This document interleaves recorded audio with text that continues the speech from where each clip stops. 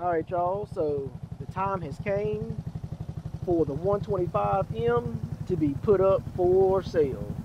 So the 125M is for sale. The Z50R is for sale. And then the big block MotoVox is for sale. But I wouldn't mind keeping the motor for a future big go-kart project. So my feelings wouldn't be hurt if I kept the motor and sold everything else. But that's a good running motor. And that'd be perfect for a Yerf dog. So let's get the 125M cleaned up. I've never actually cleaned this thing. I've ever only just rinsed it off after riding it.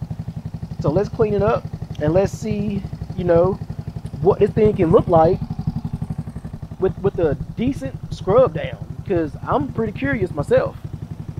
But yeah, everything works. It runs good. Got a little bit of lifter tick sounds like. Uh, but the headlights work. I do have low beam and high beam. And they work excellent. Man, on the trails at night, this thing is beautiful. Oh my god.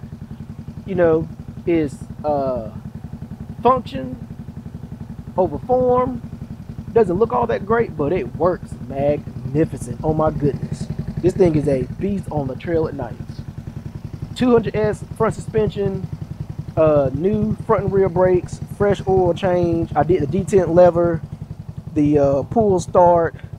I do have LED strips for the rear tail lights because quite frankly, it was cheaper to do that than to trying to find a OEM housing, but all the factory wiring stuff is still there did the seat cover didn't do it the best um, the plastics are how they came. The previous owner had riveted uh, a metal plate like a metal license plate uh, front and rear. I put the rack on the back. I started I cut the gas off on the car I always like run my stuff out of gas before I park it.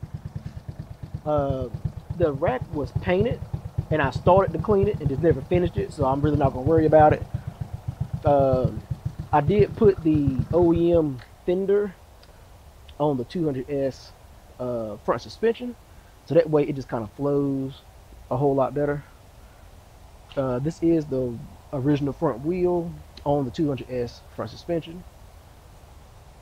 I had to get the 200S front suspension and front hub.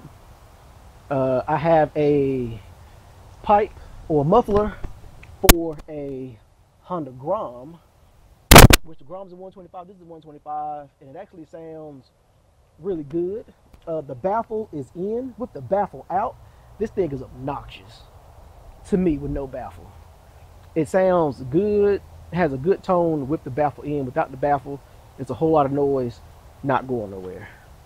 Uh, so yeah, I'm gonna get this thing cleaned up a little bit and we'll see how good it can look. So I'll be back once I get it kind of scrubbed up a little bit.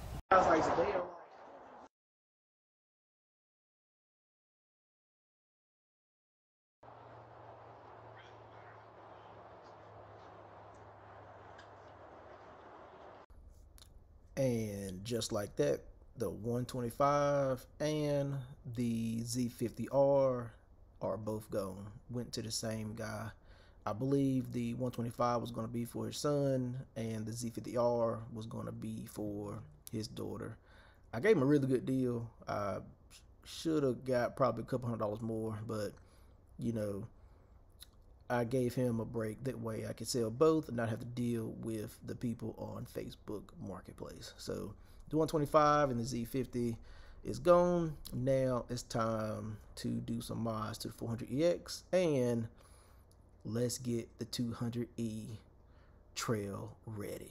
So yeah, sad to see the 125 go, but somebody else can enjoy her.